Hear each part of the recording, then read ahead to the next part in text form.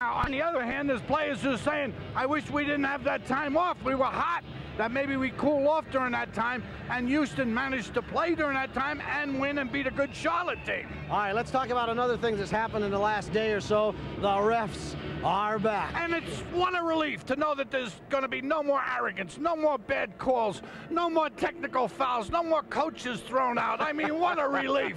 yeah, obviously you jest, but the regular faces, the familiar faces will be there. The faces will remain the same. The tees will come from Joey, the oh, double tees. And I'm sure there's going to be a honeymoon period, uh, at least for the first couple of days. But when they say not tonight, they still going to take a couple of days. Yeah. But I hope that they come to work right away. um, I think things will, will still be back. We know that they make maybe you know five bad calls out of the whole game, but other than that, I mean, it's just like a joy that you know, hey, uh, these guys respect us and we respect them. Well, I think you give them about a half of basketball, and then everyone will start hating them as well. the fans, coaches, and players will start yelling at them, and uh, and they'll be the scapegoats. Yeah, I'm, I'm sure it won't take long before we all get back to whatever normal is, but it's interesting. I wonder if we're going to see the uh, the difference. Now they've got to, the referees have got to go to uh, to camp just like the players do first. Of course, there's the rules interpretation, and, and of course they're going to be getting to see if they're in good physical shape and everything. The thing that I hope, I think that first of all, the coaches are going to start out by saying, hey, how did you vote? Because it was 27 to 26 to come back. Two referees didn't show up. Two veteran uh, referees, Madden and O'Donnell, who probably could have changed the vote to uh, to be against not coming back. The other, the other thing that's interesting is that what about the guys who uh, went and refereed for the last couple of weeks? I mean, I think these guys did a pretty good job. They worked real hard. Now they want to try to make it into the NBA. Will the fact that they were replacement or, quote, scab officials, will that hurt them? I hope not, because I think in a lot of ways they saved the game. I think the fans would have been very mad if we had no basketball at all. All right, let's turn to the game tonight at hand. The Jazz, a good shoot around again today. They've had the couple of days off, had an opportunity to relax a little bit, take the day off when we flew back from Houston on Friday night, take Saturday off. But uh, again, a, a good opportunity, as you said, Frank, to allow things to kind of settle down a little bit. We come off the big win, but this is a series that not only has tonight implications, but long-term implications. It's a tough game because it's a conference game, and we have to really come out ready to play. And the Rockets have an excellent team with Olajuwon, Horry, Smith. I mean, they keep coming at you, have a very deep team.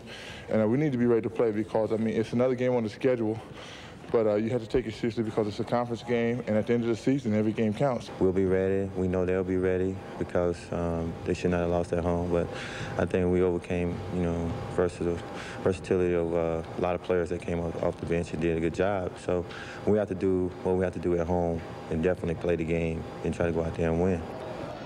Well, one thing you can be sure of is that Houston, uh, that it was a long term in between. Now, they played once in between right after the Jazz and beat Charlotte, but it's a long time wait. They want a measure of revenge tonight because uh, this is a series. We look back to last year's playoffs. We look back to every game the Jazz plays against the Houston Rockets. It's always exciting, and this one always seems to come down to a last second shot or some kind of a big game incident. Yeah, it's. Uh been a team we played a lot of games, and uh, it's always exciting. Two very good teams, uh, and usually comes down to a couple possessions down in the fourth quarter. You know, you know that uh, this team, you know, probably in the future, we have to meet down the line again. So, for home court advantage is an important game for us and for them. Uh, he's he's ready to go, and and you know, as I said, a team like that, a lot of pride, and they were beaten pretty soundly at home. Yeah, you know, it's funny about Olajuwon. He's become such a good player that you know he can get 32 points and 15 rebounds, and and you can say he didn't have a very good game. I think that the key against him during the last game was the physical play of our centers back. Against him. All right, talking about that last game, of course, it was Friday night in Houston. The Jazz, I think, played as well a game as I've seen them play for a long, long time. Bryon Russell, he, he got his second start of the uh, season, and boy, did he take advantage of it because Bryon Russell came out early, played extremely well, showed everybody he could do, scored on the baseline drive here, and was the was the, the player of the game. His outside shot was falling as well. He played with a lot of confidence. He had 11 points in the first quarter, including a three that capped a 15-2 Jazz run, and Utah led 19-7 at that point. The Jazz continue to build on that lead, and they did it with defense. Stockton finding Karl on the break. The Jazz led by 13, 53-40 at the intermission. The third quarter, the Jazz led by as many as 16. Greg Foster off the bench. The drive, and it goes down. Great play by Foster. Rockets aren't the two-time champions for nothing, though. Sam Cassell tied the game at 92 midway through the fourth, but then John Stockton and the Jazz go on a run. The, the uh, Stockton hits the three-pointer for the Jazz, and then John hit another tray as the Jazz scored on their next six possessions and just really buried the Rockets. Bryon Russell finished with a career-high 19 points, and the Jazz won this one 112-105. Uh, it was the first loss of the year, Frank, for the Houston Rockets in the Summit. Uh, no other team has been able to do that. And as you said, the Jazz playing their best overall game. And you look at the numbers, and they, they bear that out. Well, I think the big thing is that you look at our defense. And I think I agree with uh, Coach Sloan.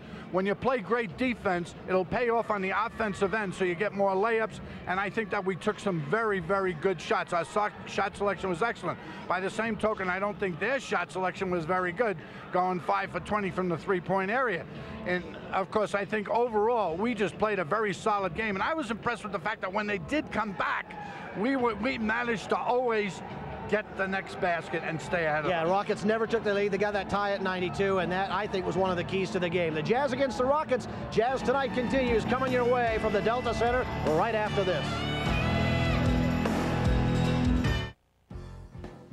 Jazz Tonight is brought to you in part by cold filtered Miller Genuine Draft.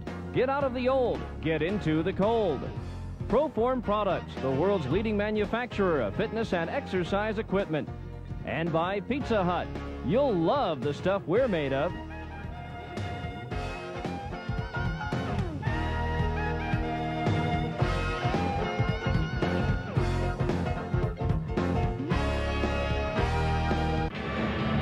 And the graphic says it all. Jazz tonight, the Rockets against the Utah Jazz in a rematch of last Friday night's barn burner in the Summit in Houston. Texas. Welcome back to the Delta Center. Uh, Thursday night should be exciting tonight, however. And Hot Rod Hundley is standing by live, courtside. Hots, the Jazz are looking for some changes tonight and lineup changes maybe.